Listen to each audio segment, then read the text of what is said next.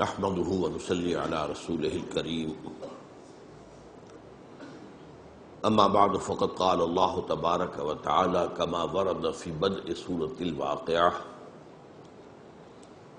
बिल्लाहि मिनश्शैतानिर्रजीम बिस्मिल्लाहिर्रहमानिर्रहीम इज़ा वक़अतिल वाक़िअह लैसा लिवक़अतिहा काज़िबह खाफ़िज़तुर राफ़िअह इज़ा रुज्जतिल अर्दु रज्जा व बुस्सतिल जिबालु बस्सा फ़कानत हबाअम मुंबस्सा व कुंतुम अज़वाजन सलासा फ़अस्हाबुल मैमनति मा अस्हाबुल मैमनह व अस्हाबुल मशअमति मा अस्हाबुल मशअमह वस्साबिकून अस्साबिकून उलाइकल मुक़र्रबून फ़ी जन्नातिन नईम।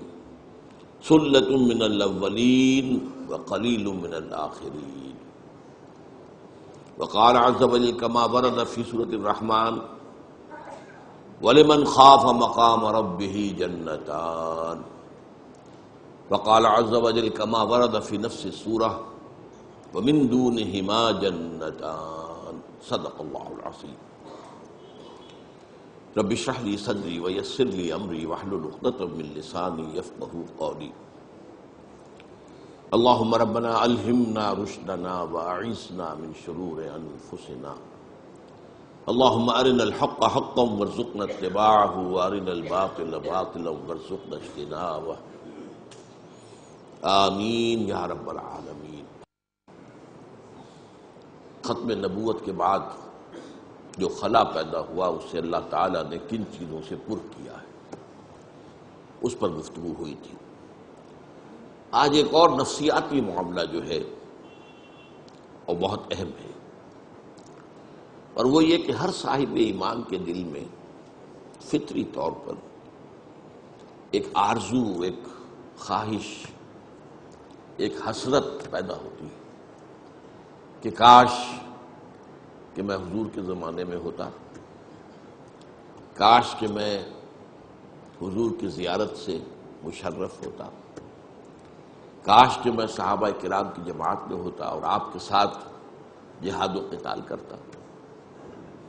मैं समझता हूँ कि किसी साहिब ईमान का सीना इस आरज़ू से खाली नहीं होना चाहिए। अगर खाली है तो इसका मतलब यह है कि फिर उसके दिल में वो कदर कीमत नहीं है। हुजूर की सोहबत की, हुजूर की मैयत की, हुजूर के साथ जिन लोगों ने मिलकर जिहाद कताल किया। लेकिन ये कि मैं इस सिलसिले में पहले तो एक वार्निंग, एक तंबीह देना चाहता हूँ कि हमें यह सोचना चाहिए कि हम कुछ नहीं कह सकते कि हम उस दौर में होते तो कहाँ खड़े होते। क्या पता आज का फिस्को फजूर तो फिस्को फजूर ही है। उस वक्त हम होते तो हमारा फिस्को फजूर कुफर की शक्ल इख्तियार करते। आज भी कितने ही मुसलमान हैं जो दायान हक की मुखालफत करते हैं। अपने तसब की वजह से, अपने तहज़ुब की वजह से, अपने तकबर की वजह से। अगर वो उस वक्त होते तो अबू जहल और अबू लहब की सफ में खड़े होते। तो सोचने की बात है। आज हो सकता है कि हम में से बहुत सौ के दिलों में निफाक हो। लेकिन उस वक्त होते तो निफाक का पर्दा चाक हो जाता। और हम नंगे कर दिए गए होते। इस वक्त तो यह है कि उस पर पर्दा पड़ा हुआ इसलिए कि ज़ाहिर बात है कि हुजूर के बाद किसी शख्स को यह हक नहीं है कि किसी भी शख्स को मुनाफिक करार दे सके। यह मामला हुजूर का खास था। तो बड़े रिस्क हैं। एक बड़ा प्यारा शेर है फारसी का, कि तमाम जो इल्म है, उसका जो खुलासा है, वो क्या है? कि दानी मन कियम दर योम दी, जाने जुमला इल्म हा ई नस्तोई।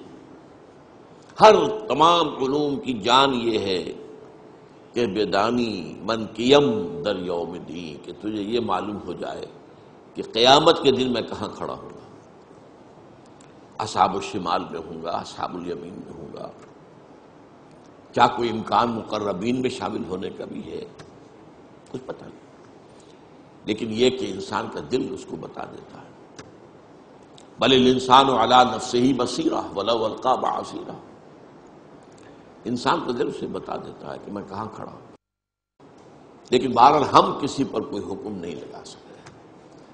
तो पहली तो ये तंबी कि ये चीज़ जहाँ उसका वो मुस्बत पहलू है, हमारी मोहब्बत का तकाजा और हुजूर के शर्फ सोहबत का कदर कीमत का अंदाज़ा। तो वो ठीक है अपनी जगह पर, लेकिन साथ ही उसके साथ ये वार्निंग भी रहनी चाहिए कि हम ये सोचें कि हम उस वक्त होते तो कहाँ खड़े हो, किस सफ में होते। बहरहाल, एक दूसरी उसके साथ जो बशारत है, जिसके लिए मैंने आज खास तौर पर जो बशारत का मौजू है, वो है मेरा मौजू। मैंने सिर्फ़ ये कि तमहीदन वो तब्बी भी आपके सामने रख दी। इस बशारत के एतबार से मैंने सबसे पहले तो आपको सुनाई है आयात सूर्य वाकया की। नक्शा खींचा गया है। और वो जो अभी मैंने आपको शेर सुनाया कि जाने जुमला इल्म हाई नस्तोई के बेदानी मनकियम दर यौम दीन। ये गोया कि उसकी कुरान मजीद की तरफ़ से तशरी हो रही है। इदा वक़ातिल वाक़ जब हो पड़ेगी वो हो पड़ने वाली, यानी क़यामत। लई सल वक़ात हा कासिबा उसके वकू पजीर होने में न अभी कोई शक और झूठ है, न उस वक्त कोई शक और झूठ रहेगा। उस वक्त तो खुल जाएगी बात। कौन इनकार करेगा फिर? अभी तो इनकार करने वाले हैं। खाफिजतुर्राफिया और वो जो होगी, वो कुछ पस्त करने वाली भी होगी, उठाने वाली भी होगी। कुछ लोगों को पस्ती में धकेल देगी, वो कयामत, और कुछ लोगों को बुलंदियों पर फाइज कर देगी। कुछ होंगे, ज़ाहिर बात है अम्बिया रसुल सिद्दीकी शहदा सालही वो राफिया होगी क़यामत उनके लिए। उनके दर्जात को, बुलंदी को ज़ाहिर करने वाली हो। उनका मकाम और मरतबा उस वक्त मुंकशिफ हो जाए। और खाफिजा, फुसाक फुजार कुफ़ार मुनाफिकीन, मुशरकिन को गिरा देने वाली हो। अब उसके बारे में फरमाया इजारुजतिलरजन जिस दिन ज़मीन कप कपा दी जाएगी जैसे कि कप कपाया जाता है। बबुसत जिबाल बसन और पहाड़ रेजा रेजा कर दिए जाएँगे तोड़ फोड़ कर। फकान थबा बसा और वो हो जाएँगे गुबार, मुंतशिर गुबार, फैला हुआ गुबार। ये पहाड़, ये चटाने गुबार की सूरत हो जाएगी? वह कुन तुम अजवाजन सलासा। और तुम तीन गिरोहों में तकसीम हो जाओगे। ये है असल, जिसके लिए कि मैंने ये आयात आज पढ़ी। वो अजवाज सलासा क्या है? फासाबुलमई मनत साबुलमई तो एक तो होंगे दाहने वाले या बरकतों वाले। यमुन के माने बरकत भी है। बरकत यह दाया हाथ जो है, यमीन इस हवाले से कहते हैं। अच्छे कामों के लिए इसको वक्त करता है।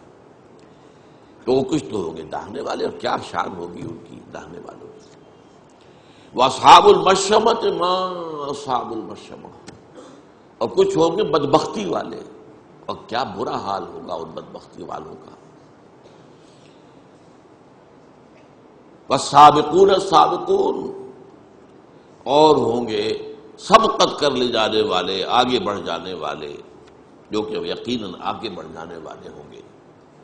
उलायकल मुकर्रबून वो होंगे मुकर्रबीन बारगाह रब।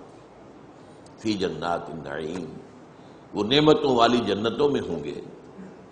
सुल्लत मिनल अव्वलीन, व कलील मिनल आखिरीन। वो पहलों में से तो बड़ी कसीर तादाद में होंगे, पिछलों में कम तादाद में होंगे। इसके बाद लंबी बात है, असहाबुल मई मना के बारे में फरमाया गया, असहाबुल यमीन भी उन्हें कहा गया आगे चलकर। सुल्लतुम मिनल अव्वलीन व सुल्लतुम मिनल आखिरी वो जो दूसरे दर्जे के लोग होंगे, वो पहलों में भी कसीर